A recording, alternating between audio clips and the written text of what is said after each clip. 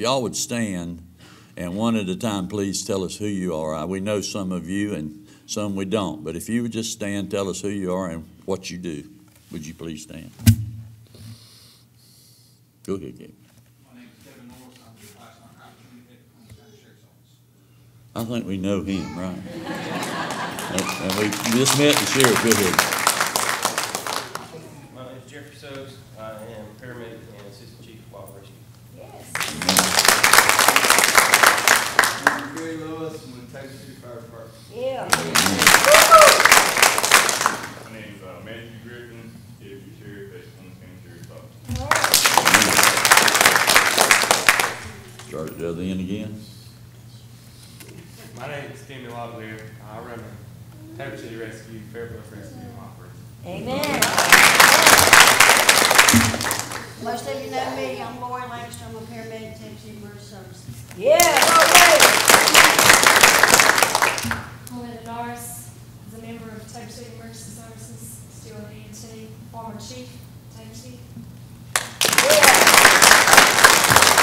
Thank all of you, and, oh, we have, oh, okay, we got another one back there. What are you doing back there? Lieutenant Kozlowski, Tabor City Police Department. That's right. Preach, don't. Oh, Jess, what are you doing back there? You know, preacher, I have all these youngins. But I am Jesse, and I'm blessed to be the clerk of court, and I'm blessed to be serving along these young deputies and these, um, and the sheriff. When I was hearing the sheriff speak real briefly, we have a, a brand-new deputy, just started in 2017. Deputy Griffin, stand up real quick.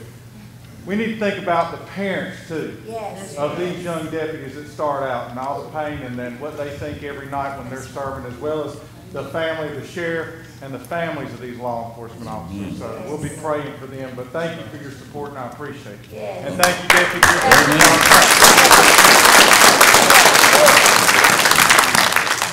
Thank all of you, and, and like I said, I don't, I really don't have the words to tell you, uh, but we could show you. And that, we're trying to do that today, uh, through fellowship, encouragement, and of course, uh, we hope you can stay. I realize some of you might be, have to go, but, uh, we hope you will stay for the luncheon fellowship we're gonna have, and for goodness sakes, don't miss these folks as they are gonna bring the gospel through song here in a little bit. Uh, but I think we're gonna have a video, right? And we're gonna watch the video, and then I have a little presentation to make to them, and then, uh, we'll get on, we're getting on, amen?